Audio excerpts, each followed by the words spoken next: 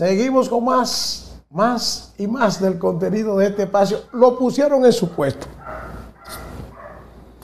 Abinader puso en su puesto a Diosdado Cabello.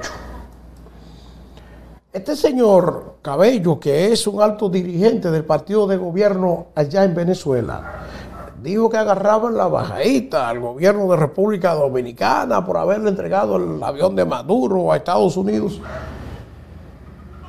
Y le preguntaron a Luis Abinader sobre estas, esta advertencia que le mandó Diosdado Cabello. ¿Y qué, qué dijo?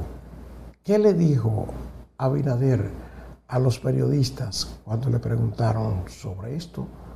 Vamos a ver. Es para ambos. ¿Qué piensan sobre las declaraciones de Diosdado Cabello, quien amenaza al país con una clara intención de chantaje con respecto al petróleo, luego de que el Estado Dominicano respondió legítimamente a una gestión judicial de los Estados Unidos? Y si me preguntan, si me permiten una segunda parte de la pregunta eh, también, eh, hay un segundo avión de Maduro en el país en el aeropuerto Joaquín Balaguer. ¿Se lo van a llevar también y cuál es el destino de esas aeronaves? Bueno, la República Dominicana ha trabajado para mejorar la calidad de vida de su gente, disminuir eh, la pobreza y en los últimos años ha llegado a ser la séptima economía de Latinoamérica, sin tener petróleo, sin tener hidrocarburos, pero con un gobierno que trabaja a favor de su gente con transparencia y respetando la democracia y los derechos humanos. No tenemos petróleo, pero nuestra economía es mayor que la de Venezuela. Así que vamos a seguir defendiendo los principios democráticos ahora en el gobierno y los seguiremos defendiendo siempre, donde sea, hasta que vida tengamos y seguiremos defendiendo eh, también esos derechos democráticos y siendo empáticos con la situación de Venezuela, no importa eh, quién opine lo contrario o, o quién pueda tener algún tipo de amenaza que no nos molesta en lo más mínimo.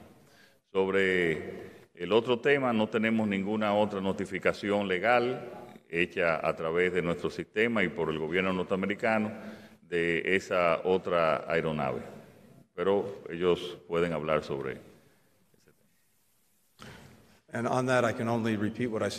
Puedo repetir lo que dije hace un momento, es decir, que hemos hecho cumplir con nuestras sanciones y lo seguiremos haciendo cuando sea apropiado.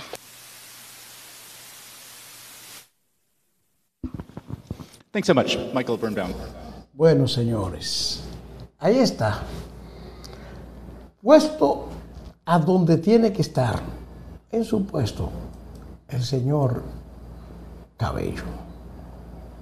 Lo jalaron por los moños a Cabello por estar dándole advertencia a la República Dominicana. Señores, gracias, muchas gracias por su sintonía. Hemos cumplido una vez más en vivo en este espacio en noticias. Me dice Brady Abreu de BTV que sí, que es en vivo, en vivo, en vivo, porque hay gente que engaña diciendo que están en vivo cuando en realidad están grabados.